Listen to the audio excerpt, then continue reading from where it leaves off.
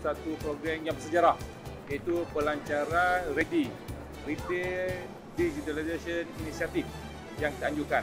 Untuk makluman, ini kali yang kelima. Ya. Premis ataupun daerah yang kelima yang kita lancarkan program REDI ini untuk menggalakkan peniaga dan pengguna menggunakan e-wallet ataupun cashless dalam urusan jual beli mereka. Jadi ianya akan memudahkan, selamat dan juga cepat ya, dalam proses uh, jual beli yang dilakukan dengan menggunakan cash ini.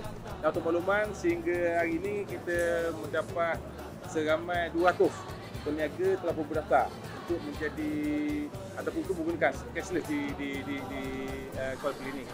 Dan daripada semua sekali ni, bermula daripada kita lancar dulu di Kuala Berang, kemudian malam ni di sini, seramai 3,919 peniaga telah pun uh, aktif ataupun telah mendaftar dan juga menggunakan e-wallet di seluruh negara.